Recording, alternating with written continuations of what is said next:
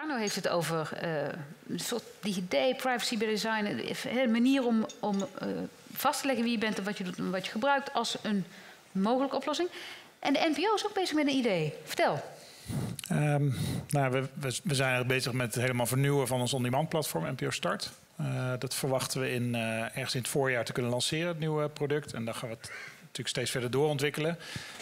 Um, en daarbij gaan we mensen eigenlijk proberen te verleiden om een login uh, aan te maken. En dat wordt dan ook een centraal ID, een single sign-on, die je ook op al onze andere platforms kunt gebruiken. Dus ook bijvoorbeeld ons audioplatform NPO Luister. Uh, en wat we daarmee gaan doen is natuurlijk een, eigenlijk een volledig gepersonaliseerd platform. Uh, dat, dat, doen we nu voor iedereen die een login heeft en een, en een abonnement. Uh, maar de meeste gebruikers hoeveel, op dit Hoeveel mensen hebben nu een login? Wat is daar de... Um, we hebben 500, meer dan 500.000 abonnees inmiddels op NPO Plus. Uh, en dan hebben we nog een aantal uh, gebruikers die het gratis gebruiken, maar die ook die wel een registratie hebben. Um, dan weet ik eigenlijk niet wat de actuele ja, okay. getallen daarvan zijn, maar nog eens minstens zoveel. maar we hebben in de zomer hadden we 6, 6,5 miljoen unieke gebruikers per maand op het startplatform. Uh, dus we willen naar veel meer. Ja. Uiteindelijk willen kijk, we willen dat dit gaat doorgroeien. Het moet net zo impactvol worden als televisie uh, altijd is geweest. Uh, wat, dat is uiteindelijk onze, onze maatschappelijke taak. Dus 6,5 miljoen gebruikers vinden we nog te weinig. dus we willen binnen een paar jaar echt wel naar gebruikersaantallen die vergelijkbaar zijn met wat we op tv halen.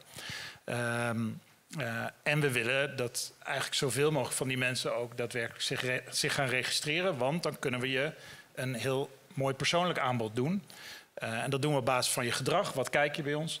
Uh, op basis van je eigen voorkeuren die je, die je kan gaan opgeven straks bij de nieuwe registratie. En we willen je ook gaan vragen, wat zijn eigenlijk je interesses? Waarvan wil je dat we je op de hoogte houden? Nou, dat is eigenlijk allemaal om onze... Uh, kijk, we hebben natuurlijk een maatschappelijke taak. dus die proberen we steeds beter te gaan invullen. Dat kunnen we dankzij data en dankzij zo'n login. En wat we ook kunnen, is natuurlijk eigenlijk hetzelfde als wat, wat DPG doet, is gaan crossverwijzen. Uh, dus we gaan zeggen, maar, hey, je hebt, wat je je hebt dit zegt. gekeken op start. Dan vind je misschien deze podcast op NPO Luister ook interessant. Dus DPG heeft een trusted web. Arno heeft zijn uh, digitale paspoort. Zal misschien niet meteen bij Talpa naar buiten komen. En jullie hebben een NPO-ID. Ja. Zou er ooit ergens in de toekomst een vorm zijn waar dat een groot Nederlands blok wordt waar uh, uitwisselbaar. Niet, niet dat het hetzelfde hoeft te zijn, maar wat uitwisseling bestaat? Bedoel, of zijn dit echt aparte ik denk echt apart, omdat dat is wat DPG eigenlijk ook zei. Kijk, wat willen gebruikers op dit moment? Die willen niet dat hun data gaat zwerven over het internet. En dat allerlei partijen daarbij kunnen. En dat is de belofte die wij altijd hebben gedaan en altijd zullen blijven doen. Als je bij ons registreert, blijft je data allemaal bij ons. Ja. Komt nooit in handen van een derde partij. Nou, dat was eigenlijk ook wat, wat Frank vertelde, waarom we toen we nog online advertising uh, op grote schaal mochten doen, uh, eigenlijk samen met de ster gekeken, kunnen we dat op zo'n manier gaan opzetten dat er überhaupt geen data meer hoeft te worden uitgewisseld met, met adverteerders. En ik denk dat Frank echt een fantastische uh, job heeft gedaan, wat echt vind ik, gewoon professioneel gezien zonde is dat daar een streep door, uh, door is gegaan. Omdat hij heeft laten zien dat het kan. Dat je op een andere manier advertenties kunt verkopen die minstens zo effectief zijn, uh, zonder dat er allerlei persoonlijke data van mensen wordt bijgehouden. Nou, dat is natuurlijk een belofte die wij als publieke omroep ook ongelooflijk belangrijk vinden. Bij ons is je data altijd veilig. Hij verlaat nooit onze organisatie of gebruiken, maar voor één doel: dat is om jou een betere dienst te bieden. Oké. Dus dat is de aanbeveling van wat je kan. Wat, wat, gaan jullie voor nieuwe dingen ontwikkelen? We kijken even naar voren. Nederlands mediasector sterk houden, goede, interessante media die ze leveren, die ook levensvatbaar zijn. Wat voor innovaties komen eraan? Um, nou, ik, ik, beschreef het net een, hè? Uh, nieuw platform en cross-personalisatie ja. voor ons best een grote operatie. Omdat we ook op basis van de inhoud van de content willen kunnen aanbevelen. Dus we willen je echt kunnen zeggen, hey, jij bent geïnteresseerd bijvoorbeeld in alles wat over de zorg gaat. We hebben nu, uh, we hebben nu een fragment en in dat fragment gaat het over de gezondheidszorg bijvoorbeeld gisteravond in Nieuwsuur.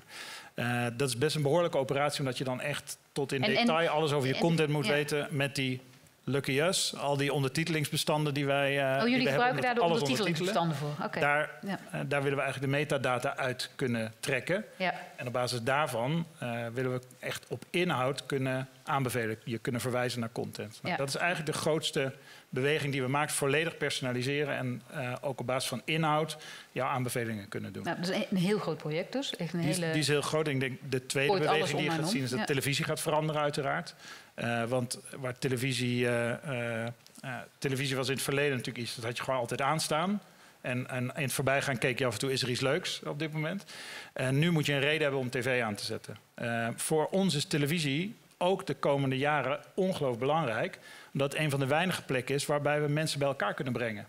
Uh, en dat is ook onze maatschappelijke taak. Is hoe kun je verbinding scheppen in een samenleving die steeds verder uit elkaar, uh, steeds, steeds verder eigenlijk uit elkaar drijft. Nou, daarvoor is televisie blijft gewoon een heel belangrijk medium. Uh, omdat het een van, de weinige plek, een van de weinige dingen is die je echt samen beleeft. Echt samen doet. Uh, dus tv zal ook gaan veranderen. Jongere Nederlanders zijn niet zo, zitten niet meer zo voor de televisie. Ja, dat, dat, die, die bereik je wel via andere kanalen. We hebben dit gesprek eerder gehad, ja, nee, uh, in een vorige editie. Toen zei ik, dat klopt niet. Uh, dat, is, dat is een beeld wat, wat vaak gecreëerd wordt. terwijl als je gewoon kijkt naar de cijfers... is het ook op dit moment nog zo dat ook de jongste generatie kijkt gemiddeld de helft van de tijd tv en de helft van de tijd on demand. Oké.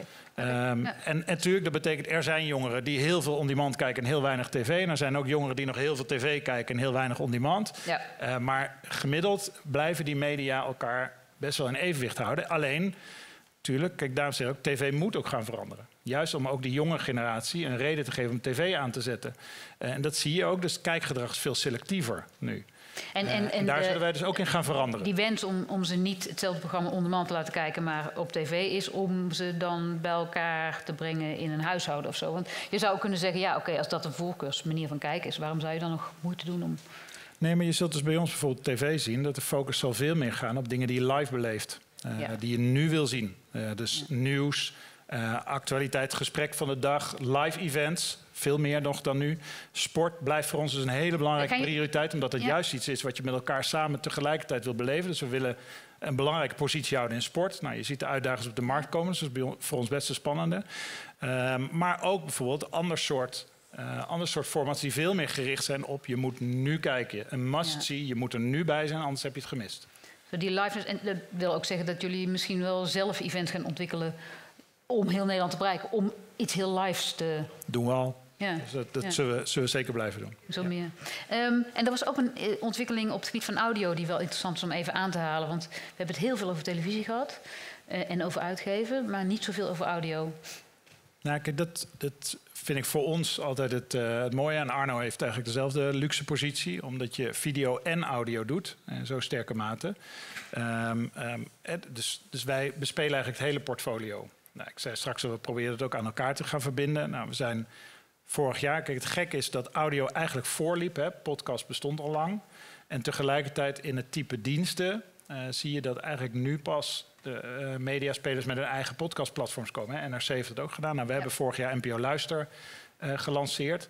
Daarvoor loopt op dit moment de toelatingsprocedure, zoals het zo mooi heet.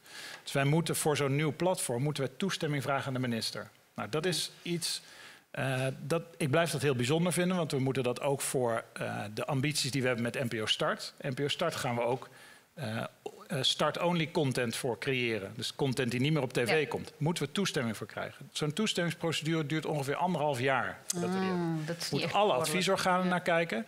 Uh, en wat voor ons eigenlijk het, het, het, vreemde is, dit is eigenlijk regelgeving die gebaseerd is op de marktsituatie van vijf tot tien jaar geleden. Toen ja. weet je, de, de markt werd bepaald door RTL, SBS en de NPO. En als de NPO iets extra's wilde, en oorspronkelijk was het een extra tv-kanaal. Ja, dan moet wel getoetst worden of dat niet te veel marktverstorend is. Vandaag de dag zou de politiek niet de vraag aan ons moeten stellen: zijn jullie niet te veel marktverstorend? Maar zijn jullie eigenlijk wel concurrerend genoeg ten opzichte van al die internationale partijen die op de markt komen? Als die fusie tussen RTL en Talpa doorgaat, is er nog maar één Nederlands mediabedrijf op de markt: de Nederlandse publieke omroep. uh, daar moet je als politiek dus je ook anders tegenover opstellen. Je zou eigenlijk ons moeten aanjagen Ga eens wat sneller, doe eens wat meer. Beweeg sneller, ben concurrerender. Zijn jullie, eigenlijk wel, zijn jullie eigenlijk wel voldoende een partij ten opzichte van partijen als Netflix, Amazon, Disney? Dat zijn we nog steeds. Maar eigenlijk als je kijkt naar hoe we zijn ingericht, we hebben een complex bestel. We hebben een van de laagste financieringsniveaus van Europa. Um, uh, en we worden zwaar beperkt in regelgeving. En nog steeds zijn we uh, zeer concurrerend ten opzichte van dat soort internationale platforms. Is eigenlijk heel bijzonder dat ons dat lukt. Ja. Uh, dus, dus als jouw vraag zou zijn, wat zou een nieuwe uh, Ja. bewindspersoon moeten doen? Die Staatssecretaris van stel je aan iedereen. Dat, als ze me daarvoor bellen, zeg ik sowieso nee, want het is veel leuker om in de media te werken. Maar goed, ik weet het uit ervaring, dus uh, Ja. dat scheelt. Maar ehm, dit is echt wat een nieuwe bewindspersoon zou moeten doen. Een heel ander soort mediaagenda die gestoeld is op de markt van 2021 en niet op de marktsituatie zoals die begin jaren 10 was. En de markt die eraan zit te komen, die nog steeds veel concurrerender wordt. Eh, Goed, doen we. We hebben, we hebben wat plannen verzameld vandaag. Ehm, ik, ik- in die samenwerking is nog wel wat overleg mogelijk, denk ik dan. Maar ehm, ja, er, is, er is veel te doen. Nou, kijk, ik denk, wij zijn, eh, ook als, als mediabedrijven onderling kunnen we veel meer samenwerken als het gaat om innovatie. Tegelijkertijd, we hebben ook een brief eh, gestuurd met elkaar naar de, eh, naar de informateur. Hebben we ook gezegd, maar ook onze concurrentie heeft ook altijd een functie gehad. Ehm, namelijk, die heeft ervoor gezorgd dat we elkaar scherp hebben gehouden. En dat we het contentniveau in Nederland eigenlijk altijd op naar nog hoger niveau Ja. hebben gestuurd. En dat moeten we vooral blijven doen. Dus het is een mix vinden tussen eh, samenwerken achter de schermen, concurreren voor de schermen. En dat moet je volgens mij koesteren, eh, omdat dat ervoor zorgt dat juist het Nederlands medialandschap ook sterk blijft. Ik vind het een hele mooie afsluiting. Dankjewel.